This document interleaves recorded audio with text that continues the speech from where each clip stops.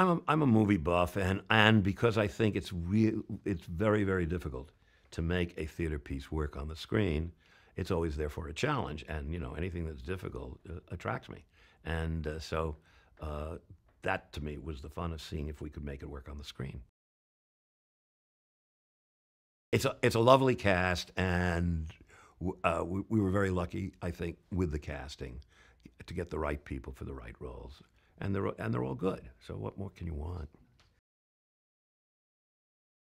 I think recording sessions for me anyway are really tedious stuff, and um, to keep them alive all for a whole day, and you know, in a closed room, and and the cast is is tense because they know it's now or never, you know, and this is there's going to be a permanent recording, so it's it's not generally at least you know, I only know I only know show recordings. I don't know, you know, recordings of pop where they have months to do it in many sessions. A show or a movie, it's done in one session, essentially. And that means, you know, in a nine hour span or a 10 hour span. Um, so for me, the, the major thing is that the cast have a good time because if they have a good time doing it, then that, that exuberance will, will translate onto, onto the CD. So and I think everybody did have a good time. One of the, one of the things that's nice is uh, if if if you're a singer and you've been rehearsing with a piano all the time, this is certainly true in shows, but it's also true in movies. And there you are now with a thirty, with a well, in in the movie, I guess it's a forty piece band. I don't know. Uh, you know, and, and, particularly when the orchestrations are by Jonathan Tunick, it's uh, who you know uh, has such flavorsome orchestrations and lushness. That's that's an up. That's a real lift for for a singer, and so um, that's that's the good part of a recording session.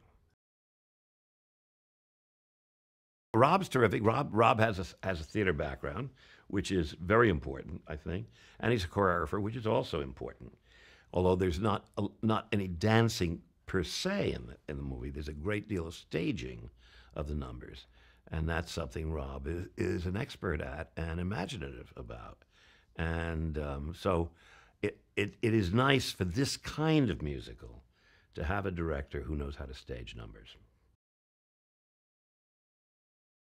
The songs in, uh, in Into the Woods are, song, are often songs that stop the action, in which, you know, Cinderella stops and talks about her experience, or Little Red stops and talks about her experience. So those are numbers that have to be staged as numbers because they're not parts of scenes. They're part of the context and part of the plotting, so to speak, and part of the ambience and the texture and all that sort of stuff. But they are they but they are numbers. So somebody like Rob is a rarity, and uh, because somebody who can do that and and direct movies and really knows about directing movies as movies, that's unusual. So that's you know Rob is uh, you know is one of the very few directors who could do this well. It's very important and very and much harder than it sounds to figure out what a show is about, even after you've written it. Uh, and uh, because you don't want it to be a polemic and just say this is a show about war, and, and that's, that's no way to write a show. You write a story and see where it goes.